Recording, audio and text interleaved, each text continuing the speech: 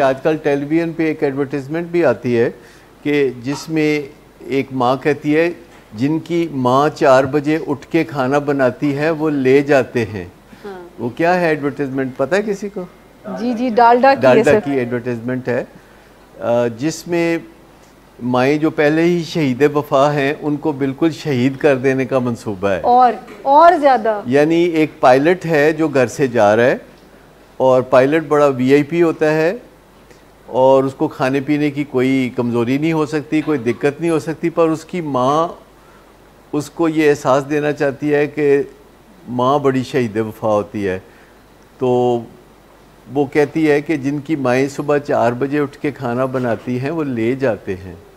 तो ये एक बड़ा स्ट्रॉन्ग मैसेज है, जो कि नेशनल टेलीविज़न पे आप रोज़ अगर सुनते हैं तो माओ को लगेगा कि अगर वो तकलीफ़ बर्दाश्त करें तो ये कोई बहुत अच्छी बात होगी। माएँ पहले ही काफ़ी तकलीफ़ बर्दाश्त करती हैं। नहीं फिर करते हैं तो उसके बाद वो हिसाब रखते हैं इसका कि ये हमने किया है तो फिर हमारे साथ क्या हुआ। ये इससे वेरी कॉमन स्टोरी कि देखो मैंने उसके साथ ये अच्छा किया मैंने उसके साथ वो अच्छा किया लेकिन फिर उसने मेरे साथ क्या किया। This is a very very real common story जब लोग बात कर रहे होते हैं कि सास कह रही होती है कि मैंने बहू को बेटी बना के रखा मैंने उसके लिए ये किया मैंने उसके लिए वो किया फिर देखो उसने मेरे साथ क्या किया।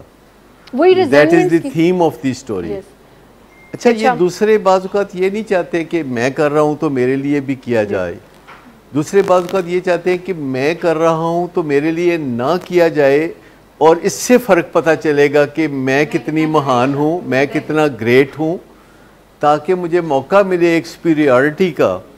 किसी और रिलेशनशिप में कि जिसमें मैं बता सकूँ कि देखो, मैं ही हूँ इतना शहीद वफा। घरों में एक खातून होती हैं कि जो अमूमन माँ होती हैं, जिनकी उम्र पैंसठ, सत्तर साल होती है, और वो सुबह पाँच बजे उठती हैं, जबकि उनकी बहुएँ सुबह दस, ग्यारह, बारह बजे उठती हैं, क्योंकि वो लेट सोती हैं, और वो उन ख़वातीन के जो सो रही होती हैं उनके खामदों को भी खाना बना के देती हैं उनके बच्चों को भी बना के देती हैं घर का निज़ाम भी चलाती हैं और वो यूजुअली ओवरवेट होती हैं। आम तौर पर उनको डायबिटीज़ होती है उनको ब्लड प्रेशर होता है उनके जोड़ों में भी दर्द होता है और हर कोई उनको कह रहा था अम्मी जी तुम ना इन्ना काम कर ना करा तो फिर किस तरह चले मेरा घर? ए कौन करे? फिर? बाकी भी सब रस्मी तौर पर ये कहते हैं अम्मी जी तुम ना करया करो इन्ना काम। तो वो एक बात ज़बानी ज़बानी रह जाती है, पर अमली तौर पर वो ख़ातून शहीद वफा होती हैं। और इस तरीके से उस घर का निज़ाम चल रहा होता है और कुर्बानी की भेंट चढ़ाना किसी बुज़ुर्ग को और किसी बुज़ुर्ग का कुर्बानी की भेंट चढ़ना को मुनासब बात नहीं है। लेकिन जो को डिपेंडेंट रिलेशनशिप है, इसमें बंदा ये नहीं चाहता कि मैंने किसी के लिए कुछ किया है तो वो मेरे लिए कुछ करे।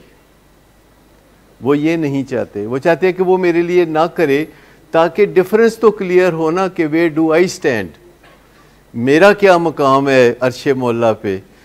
तो अगर किसी ने मेरे साथ वापसी में वो कर दिया, जो कि मैंने किया तो फिर तो मुझे मिलिया मेट कर दिया, बराबर कर दिया। को डिपेंडेंट रिलेशनशिप वो है।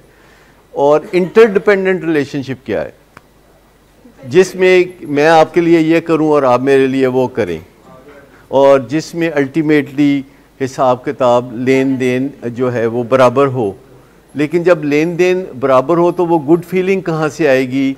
जो शहीद वफा होने से आती है। It's all about relationship relationship में गुड फीलिंग्स का प्रिवेल करना बहुत ज़रूरी है दो तरफा तौर पर। इट्स ऑल अबाउट रिलेशनशिप और जब भी हम अपने फैमिली मेंबर्स के साथ कोई भी बातचीत करते हैं, जिसमें हम कुछ डैमेज करते हैं ज़ाहिर है जब हम नुकता चीनी करते हैं, जब हम किसी की कोताहियों का ज़िक्र करते हैं, जब हम किसी को वार्निंग देते हैं, किसी को हम तंबी करते हैं तो ऐसे मौके पे हम कुछ ना कुछ मूड और मिजाज अगले का ख़राब करते हैं। जब हम किसी पे कोई क्रिटिसिज्म करते हैं तो हम कुछ डैमेज कॉज करते हैं। और हमारी ड्यूटी है कि पहली फुर्सत में उस डैमेज को अनडू कर दें।